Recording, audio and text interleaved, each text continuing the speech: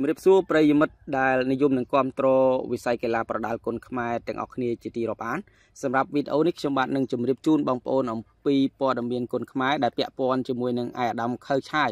ប្រកាសធានាឲ្យកីឡាការិនីគុនខ្មែរដ៏ឆ្នើមគឺកីឡាការិនីនៅស្រីពៅបានឡើងប្រកួតតាមសង្វៀនគុនខ្មែរជាធម្មតាឡើងវិញបាទ សម្រាប់ព័ត៌មានគុនខ្មែរពាក់ព័ន្ធជាមួយនឹងកីឡាការិនីនៅស្រីពៅនេះក្នុងរយៈកាលប្រហែលថ្ងៃចុងក្រោយដើមខែមីនាឆ្នាំ2024នេះពិតជាមានការចាប់អារម្មណ៍ច្រើនពីសំណាក់បងប្អូនអ្នកស្រឡាញ់វិស័យកីឡាគុនខ្មែរក៏ដូចជាបងប្អូនអ្នកសារព័ត៌មានដែលធ្វើអំពីកីឡានេះគឺមានការចាប់អារម្មណ៍ច្រើនដោយសារតែស្រីពៅគាត់បានបង្ហាញអារម្មណ៍តាមរយៈការសម្ភាសក៏ដូចជាជាពិសេសហ្នឹងគឺ status របស់គាត់កាលពីថ្ងៃទី26បាទការ កាលពីថ្ងៃ26ខែកុម្ភៈឆ្នាំ2024កន្លងទៅនេះគាត់បានបង្ហោះថាខ្ញុំធ្លាប់ដួលធ្លាប់ឈឺចាប់ធ្លាប់គេប្រមាថមើលងាយធ្លាប់គេបំបាក់ទឹកចិត្តធ្លាប់បាត់បង់ធ្លាប់ស្ទើរតែគ្រប់រឿងតែខ្ញុំពុំធ្លាប់មានចិត្តចង់បោះបង់និងចោះចាញ់ឡើយជីវិតគឺជាជំរើសបាទនេះគឺជា status ដែលធ្វើឲ្យមានការចាប់អារម្មណ៍ពីសំណាក់មហាជនហើយធ្វើឲ្យមានបងប្អូនអ្នកសារព័ត៌មានមានការសម្ភាសឲ្យ នៅស្រីពៅក៏គាត់បានបង្ហាញអារម្មណ៍យ៉ាងក្តុកក្តួលក៏ដូចជាបង្ហាញពីការអាឡោះអាល័យពីវិស័យគុនខ្មែរផងដែរក៏ដោយសារតែបញ្ហាវិបត្តិធំនោះគឺថាទីផ្សារសម្រាប់ការប្រកួតកីឡាការិនីនៅក្នុងប្រទេសរបស់យើងនឹងហាក់ស្ងប់ស្ងាត់មែនទែនបាទហាក់ស្ងប់ស្ងាត់ដែលប៉ះពាល់ទៅដល់ជីវភាពរបស់គាត់មែនទែនហើយកីឡាការិនីនេះកីឡាការិនីនៅស្រីពៅនេះគឺជាកីឡាការិនីមួយរូប ដែលឆ្នើមហើយក៏ត្រូវជាភរិយារបស់កីឡាករដ៏ឆ្នើមរបស់យើងដែរដែលមានដើមកំណើតមកពីខេត្តបន្ទាយមានជ័យគឺកីឡាករសុករិទ្ធបាទជាកីឡាសុកគឺកីឡាករសុករិទ្ធនឹងឯងហើយតាមរយៈអឺការចូលរួមសោកស្ដាយពីមហាជនក៏បងប្អូនអ្នកសារព័ត៌មានយើងបានផុសជាបន្តបន្ទាប់អំពីការប្រកាសលាឈប់ពីវិស័យគុនខ្មែរដែលគាត់បានស្រឡាញ់និងតស៊ូអស់ជាច្រើនឆ្នាំមកហើយនឹង ក៏មានការផ្ចុះផ្សាយព័ត៌មានរហូតដល់ផ្សាយបានដឹងដល់អាយដាមខើឆាយបាទបានលើទៅដល់អាយដាមខើឆាយដោយអាយដាមខើឆាយក៏បាន share នៅអឺការបង្ហោះមួយហើយក៏គាត់បានបញ្ជាក់ថាខ្ញុំគ្រប់គ្រងឲ្យស្រីពៅត្រឡប់មកហ្វឹកហាត់និងឡើងសង្វៀនប្រកួតវិញខ្ញុំធានាថានឹងសម្របសម្រួលក្នុងការចាប់គូឲ្យស្រីពៅបានឡើងប្រកួតទៀងទាត់ សហព័ន្ធកំពុងត្រៀមពិភាក្សាជាមួយស្ថានីយទូរទស្សន៍និងដៃគូអភិវឌ្ឍទាំងអស់ដើម្បីកំណត់គោលការណ៍ឲ្យស្ថានីយទូរទស្សន៍ទាំងអស់ត្រូវរៀបចំឲ្យមានគូយុវជនថ្នាលនិងគូកីឡាករនីយ៉ាងតិចមួយគូសម្រាប់កម្មវិធីប្រកួតកីឡាប្រដាល់គុនខ្មែរទាំងអស់ប្រចាំសប្តាហ៍បាទកីឡារស់ក្នុងសន្តិភាពរួមគ្នាដើម្បីកិត្តិស័ព្ទជាតិបាទនេះគឺជាការចែករំលែកក៏ដូចជាបង្ហាញពីការ អឺគ្រប់គ្រងឲ្យកីឡាការិនីនៅស្រីពៅត្រឡប់មកប្រកួតគុនខ្មែរជាធម្មតាវិញ សម្រាប់បងប្អូនដែលទៅតែស្រឡាញ់គុនខ្មែរក្នុងរយៈកាលចុងក្រោយនេះហាក់មិនសូវស្គាល់ប្រមាណទេពាក់ព័ន្ធជាមួយនឹងកីឡាការិនីនៅស្រីពៅនេះបាទកីឡាករកីឡាការិនីនៅស្រីពៅនេះខ្ញុំសូមជម្រាបជូនបងប្អូនថានៅស្រីពៅគឺជាការជាគឺជាកីឡាការិនីដ៏ឆ្នើមគុនខ្មែរមួយរូបដែលគាត់ អឺធ្លាប់ចេញទៅប្រកួត នៅក្រៅប្រទេសច្រើន បាទច្រើនហើយលទ្ធផលនៃការប្រកួតរបស់គាត់ នៅក្រៅប្រទេស គឺមានឈ្នះមានចាញ់ក៏ប៉ុន្តែឈ្នះច្រើនដែរបាទឈ្នះច្រើនដែរហើយសម្រាប់ការប្រកួតរបស់គាត់ដែលចាប់អារម្មណ៍បំផុតហ្នឹងគឺគាត់ប្រកួតនៅសង្វៀន One Championship ដែលបងប្អូនបច្ចុប្បន្នស្គាល់គ្រប់គ្នាណាហើយសង្វៀនមួយទៀតគឺសង្វៀន WLC គឺជាសង្វៀន Verlet Way បាទបោះភូមិបាទបោះភូមិហើយបើនិយាយពីការហ្វឹកហាត់វិញកីឡាការិនី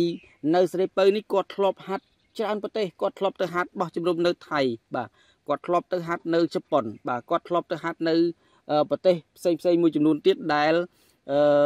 សហព័ន្ធបានបញ្ជូនទៅ ហើយកីឡាករនេះនេះនៅក្នុងស្រុកខ្មែរយើងភាគច្រើនគឺគាត់ប្រកួតជាលក្ខណៈសកល បាទសកលមានសកលស្ម័គ្រចិត្តនិងសកលអាជីពអញ្ចឹងទៅ បាទពាក់ព័ន្ធជាមួយនឹងការប្រកួត បាទការប្រកួតដែលយើងចងចាំនឹងស្ញប់ស្ញែងបំផុតគឺការប្រកួតនៅវ័នដែលបងប្អូនអ្នកគ្រប់គ្រងមួយចំនួនតែងតែឲ្យតម្លៃខ្លាំងដែរទៅលើសង្វៀនវ័ន Championship ដោយសារតែសង្វៀនវ័ន Championship មួយនេះគឺចាយលុយធំ បាទចាយលុយធំច្រើនធ្វើម៉េចឲ្យការប្រកួតជក់ចិត្ត បើនិយាយពីសង្វៀនពាន់មួយនៅស្រីពៅគាត់ធ្លាប់ទៅបាន3លើកបងប្អូនបាទគាត់ធ្លាប់ទៅបាន3លើកហើយគឺទៅលើកទី1បាទនេះបើចាំកំណត់ត្រាដែលខ្ញុំបាន note ទេណាបងប្អូនអធិស្ឋានផងបើសិនជា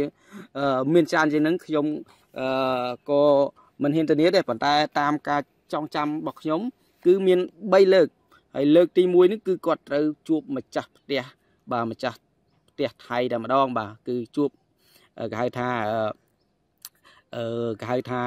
តារាប្រជាប្រិយមួយរូបរបស់ថៃ គឺកីឡាការិនីរីកាអ៊ីស៊ីកេបាទរីកាអ៊ីស៊ីកេនេះគេហៅថាអូអ្នកគ្រប់គ្រងការដែលការប្រកួតនឹងខ្ញុំចាំបានមានអ្នកគ្រប់គ្រងច្រើនណាស់ហើយសំបីតែនៅស្រីពៅនឹងក៏ចាត់ទុកអឺអឺកីឡាការិនីរីកាអ៊ីស៊ីកេនឹងជា idol ដែរប៉ុន្តែមានណាបងប្អូន ការប្រកួតនឹងគឺធ្វើឡើងនៅខែកុម្ភៈឆ្នាំ2019នៅក្នុង ទីក្រុងបាងកកតែម្ដង ដែលជាទឹកដីរបស់កីឡាការិនីរីកាអ៊ីសេកេហ្នឹងឯងបាទនៅក្នុងកម្មវិធីមួយគេដាក់ថាកម្មវិធី One Class of Legend បាទនៅនៅបាងកកគឺជាការប្រកួត ដែល នៅស្រីពៅគាត់ធ្វើបានល្អបំផុត បាទគឺជាការប្រកួតដែលគាត់ធ្វើបានល្អបំផុតដោយការប្រកួត នៅវ័នសូមជម្រាបជូនបងប្អូនថាការប្រកួតនៅវ័នគឺជាការប្រកួត លក្ខណៈ MMA ទេបីប្រកួតរបស់នៅស្រីពៅនោះបាទនៅស្រីពៅគឺគាត់លក្ខណៈ MMA ហើយទម្ងន់ដែលគាត់ប្រកួតហ្នឹងគឺគាត់ប្រកួតទម្ងន់51 52គីឡូក្រាមនឹងឯងបាទការប្រកួតលើកទី1របស់គាត់នៅវ័នហ្នឹងគឺគាត់ជួបបានយកឈ្នះកីឡាការិនីថៃរីកាអ៊ីសេកេហ្នឹងបាទបាទហើយបន្តមកទៀតបាទបន្តមកទៀតនៅគេហៅថាការប្រកួតបន្ទាប់របស់គាត់គឺគាត់ប៉ះអ្នកគេហៅថាអ្នក គេអធិរាជកីឡាកាសរបស់នេះរបស់របស់ឥណ្ឌូនេស៊ីបងប្អូនបាទរបស់ឥណ្ឌូនេស៊ីនៅចាកាតាបាទគឺជាហៅថា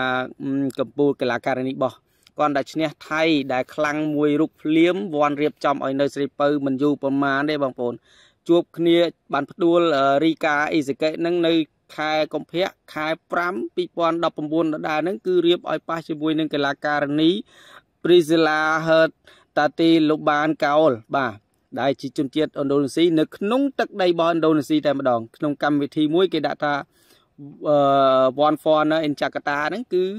អឺជារឿងមិនល្អទេដោយសារតែនៅសិរីពៅគាត់ភាកចានគាត់វាយគុណខ្មែរគាត់វាយលក្ខណៈបែប kick boxing ឬក៏វាយលក្ខណៈសកលប៉ុន្តែគាត់ទៅប្រកួតនេះគឺប្រកួតជាលក្ខណៈ MMA បងប្អូន បាទ MMA ហើយជាលទ្ធផលគាត់ធ្វើមិនបានល្អទេព្រោះ MMA ដូចបងប្អូន បានដឹងចឹងគឺជាការប្រើប្រាស់ក្បាច់ក្លេបាទក្លេ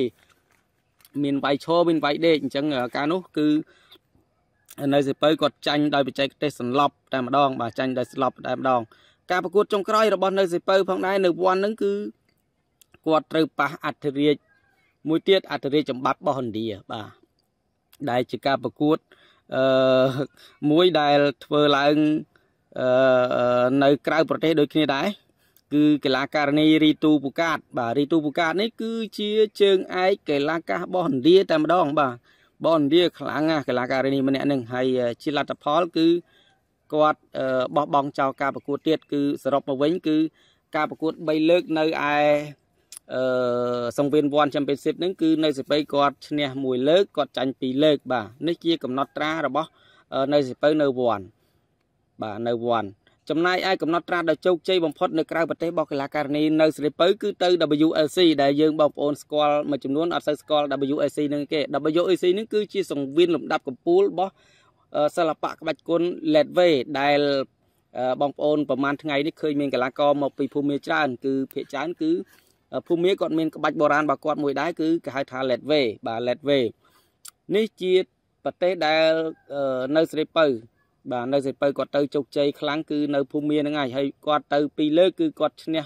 អឺកីឡាករនីភូមិទាំងពីរលើកមានន័យថាទៅពីរដងឈ្នះទាំងពីរដងហើយរដ្ឋពិសេសហ្នឹងគឺជាកីឡាករនីដែលអឺផ្ដួលដៃគូឲ្យសឲ្យសន្លប់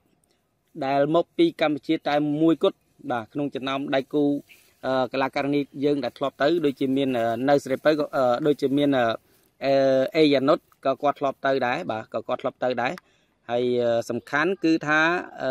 នៅស្រីពៅនេះគាត់ទៅ2លើកគាត់ឈ្នះទាំង2លើកតែម្ដង បាទគាត់ឈ្នះទាំង2លើកតែម្ដងហើយប្រជាប្រិយនៅសិពៅនៅភូមិមានមិនធម្មតាទេបាទមិនធម្មតាទេពីព្រោះគាត់ទៅឈ្នះរហូត ហើយទាំងការទៅប្រកួតនៅឯភូមិមាទាំងការទៅប្រកួតនៅឯ One Championship គឺដឹកនាំដោយលោកគ្រូហ៊ុនច័ន្ទរាជបាទលោកគ្រូហ៊ុនហ៊ុនច័ន្ទរាជ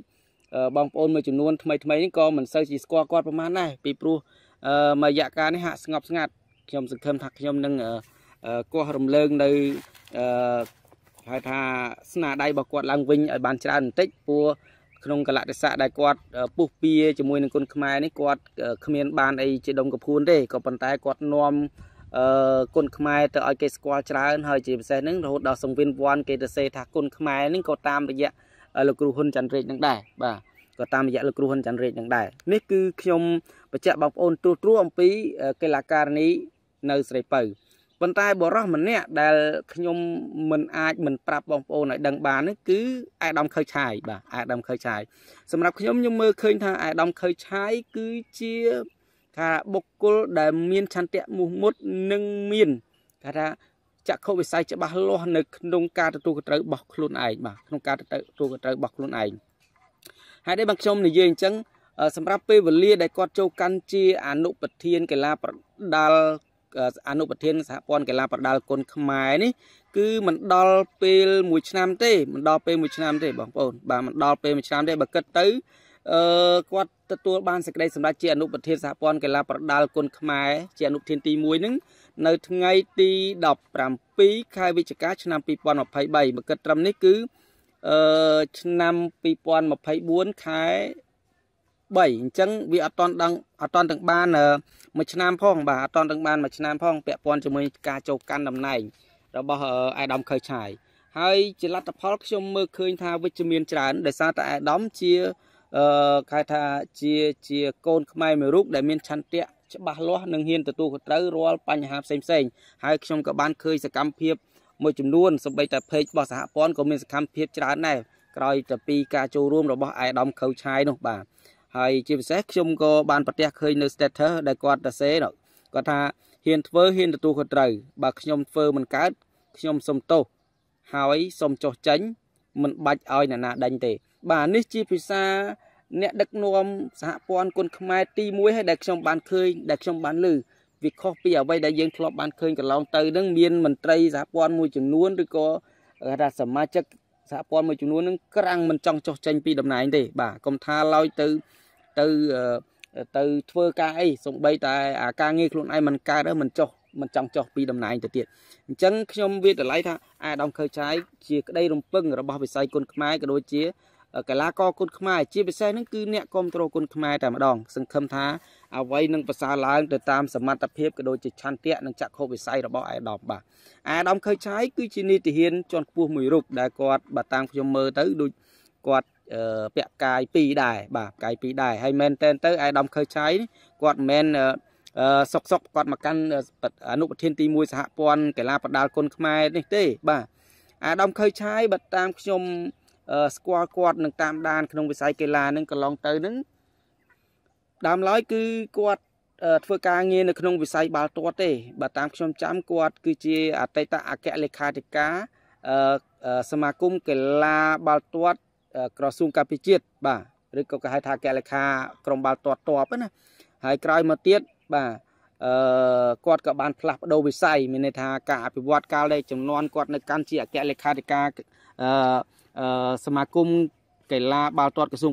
ការពារជាតិនឹងការនោះខ្លាំងណាស់បាទខ្លាំងណាស់ក្រសួងការពារជាតិចំនួនដែលគាត់កាន់នឹង គឺថាលើកពៀនបាទលើកពៀននេះជាស្នាដៃរបស់គាត់ការដែលគាត់នៅជាអគ្គលេខាធិការបាល់ទាត់របស់ក្លឹបក្រសួងការពារជាតិហើយក្រោយមកហើយអាដាមខើឆាយនេះក៏ជាអនុប្រធានក្រុមប្រឹក្សាកីឡាក្រសួងការពារជាតិដែរដែលមានអាដាមខឹមមិនសុងដែលជាប្រធាននឹងហើយមួយវិញទៀតអាដាមខើឆាយក៏ជាប្រធានគឺក៏ជានាយក បាទមជ្ឈមណ្ឌលកីឡានៃកងយុទ្ធពលខេមរៈភូមិន្ទដែរដែលទូនទីមួយនេះពីមុនឡើយគឺអាដាមតែមើលគាត់ជាអ្នកគ្រប់គ្រងបច្ចុប្បន្នគឺអាដាមខើឆាយគឺជានាយកអឺកីកីឡាកងយុទ្ធពលខេមរៈភូមិន្ទហើយក៏ជាអនុប្រធានសហព័ន្ធទី1ហើយខ្ញុំក៏រំពឹងថាអនាគតទៅអាយដាមខៅឆាយនឹងចូលកាន់តំណែងជាប្រធានសហព័ន្ធកីឡាប្រដាល់គុនខ្មែរបាទ ហើយបើនិយាយពីតំណែងតំណងអាយដាមជាមួយនឹងមហាជននៅខាងក្រៅគាត់អត់មានការរើសអើងទេបាទពួកគាត់ជាអ្នកស្រឡាញ់កីឡាគាត់យល់អំពីអត្តន័យកីឡាអញ្ចឹងការធ្វើការងាររបស់សារព័ត៌មានជាមួយនឹងគាត់គឺថាមានភាពរលូនច្រើនដោយសារតែគាត់យល់អំពីកីឡាបាទកីឡាគឺជាទូតនៃសន្តិភាពបាទកីឡារស់នៅក្នុងសន្តិភាពដូចគ្នាដែរអញ្ចឹងអាដាមខើឆាយខ្ញុំមានការរំពឹងខ្ពស់ហើយអឺ កន្លងទៅដោយបងប្អូនបានឃើញហើយសកម្មភាពរបស់គាត់ជាបន្តបន្ទាប់តែមានចំណុចអសកម្ម error ដូចជាការប្រកួតជាមួយសายយកជាមួយធនរធីគាត់ប្រកាសធ្វើសន្និសិទភ្លាមភ្លាមដែលជាសកម្មភាពមួយកន្លងទៅសហព័ន្ធស្ទើរតែមិនបើកទ្វារគឺគាត់ធ្វើសន្និសិទភ្លាមភ្លាមហើយបញ្ហាចម្រុងចំណាស់ចុងក្រោយរវាងការប្រកួត Ren David ជាមួយនឹងធនអ៊ីងឡៃកន្លងទៅថ្មីនេះថ្មីនេះក៏គាត់ចេញមុខដោះស្រាយភ្លាមភ្លាមមិនទុក ការងារមិនទុកបញ្ហានឹងឲ្យខ្លៃទៅជាមេរោគមហារីកទេ បាទនេះគឺជាការទទួលត្រូវរបស់របស់ថ្នាក់ដឹកនាំថ្មីគឺអៃដាមខៅឆាយបាទហើយគាត់តែងតែមានការចូលរួមជាមួយនឹងគ្រប់ដៃគូអភិវឌ្ឍគ្រប់សង្វៀនទាំងអស់ដែលមានការរៀបចំបំរើឲ្យវិស័យគុនខ្មែរបាទនេះគឺជា អឺការទទួលត្រូវមួយរបស់អាដាមខៅឆាយហើយសរុបមកវិញគឺមូលហេតុអីបានជាអាយដាមខៅឆាយទៅនីអះអាងជាមួយនឹងនៅស្រីពៅក៏ដោយសារតែនៅស្រីពៅគឺជាធនធានកីឡាករនេះដ៏កម្រមួយ បាទគាត់ធ្លាប់អឺចេញប្រកួតតំណាងជាតិមានមេដាយមាសមេដាយប្រាក់ជាបន្តបន្ទាប់បាទហេតុអីយើងត្រូវបោះបង់គាត់នេះគឺជាការទទួលខុសត្រូវរបស់ថ្នាក់ដឹកនាំខ្ញុំបាននិយាយដដែលដដែលអញ្ចឹងគឺអ្វីគ្រប់យ៉ាងនឹងប្រសើរឡើង ហើយទៅមុខទៀតខ្ញុំនឹងជូនព័ត៌មានបន្ទាប់ពីអាយដាមខៅឆាយគាត់ប្រកាសធានាអះអាងបែបហ្នឹងតើតើនៅសេរីពៅហ្នឹងគាត់នឹងទទួលបានលទ្ធផលបែបណាជាបន្តបន្តទៀតបាទ អញ្ចឹងសម្រាប់ព័ត៌មានដែលខ្ញុំបានជម្រាបជូនបងប្អូនពាក់ព័ន្ធជាមួយនឹងអាយដាមខៅឆាយប្រកាសធានាកីឡាករនីគុនខ្មែរដល់ឆ្នាំនៅសេរីពៅឲ្យចូលប្រកួតឡើងវិញនេះគឺខ្ញុំជម្រាបជូនបងប្អូនប៉ុណ្ណឹងហើយសូមអធិស្ឋានចំពោះការលើកឡើងខុសច្បាស់ចន្លោះនៅត្រង់ណាឬក៏ប្រើប្រាស់ពាក្យពេចន៍អីមិនសមរម្យសូមអធិស្ឋានផងបងប្អូនឬក៏ខ្វះខាតព័ត៌មានណាមួយបងប្អូនអាចខមមិននៅខាងក្រោមបានបាទអរគុណច្រើនបងប្អូនសូមគោរពលាបាទអរគុណ